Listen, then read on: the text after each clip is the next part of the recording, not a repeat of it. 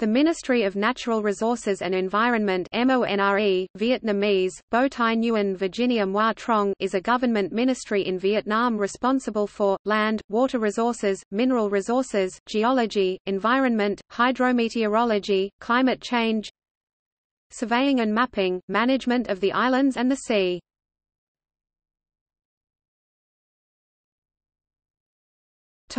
Ministerial units Department of Planning. Department of Finance. Department of International Cooperations.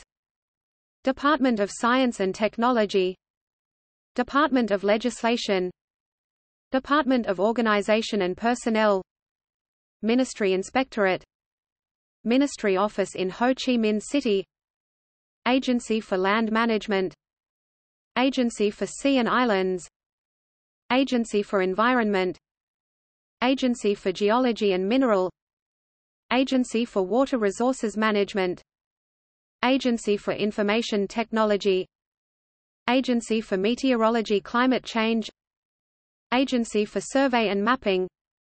Agency for Remote Sensing